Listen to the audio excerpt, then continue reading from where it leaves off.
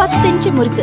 மந்த்ரா கடலை எண்ணெயில நானே பண்ணுது. ஒரு சேலஞ்ச் உங்களால இந்த மாதிரி முறுக்கு செய்ய முடியுமா? மந்த்ரா கடலை எண்ணெயில முறுக்கு செஞ்சு பாருங்க. ஓகே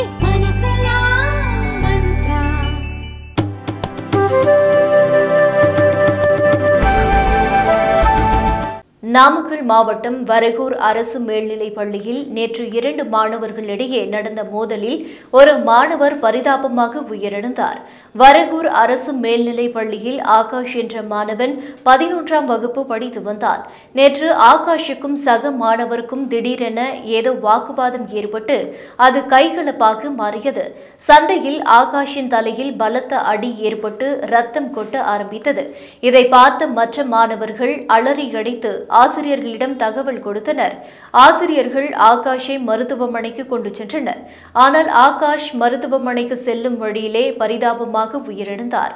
இதையடுத்து அவரது உடல் பிரேத பரிசோதனைக்காக நாமக்கல் அரசு மருத்துவக் கல்லூரி மருத்துவமனைக்கு அனுப்பி வைக்கப்பட்டது. இந்த மோதல் ஏன் நடந்தது என்பது குறித்து காவல்துறை விசாரணை நடத்தி வருகிறது.